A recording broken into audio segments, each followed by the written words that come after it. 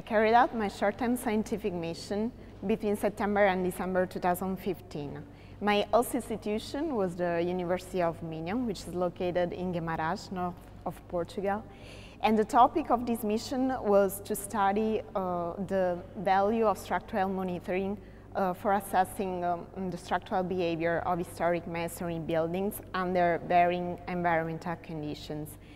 Uh, I have to say that this was truly a great experience to me because it helped to enrich my engineering background at the same time to work in a very stimulating, engaging and qualified environment where I could uh, truly understand uh, uh, what's the meaning of team working and how important it is to jointly develop ideas to get the most and work together to get the most out of your research. So I truly recommend to any action members to do such kind of experience because at any point of your career it can be very useful for to boost the output of your research.